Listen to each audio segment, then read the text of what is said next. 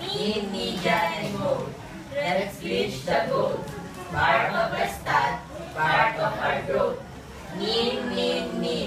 Summation of the given, then divided to n. Since you get the average then. Median, median, median. Median is the middle, arranged to ascending order. When you get 2, divide it into 2 then.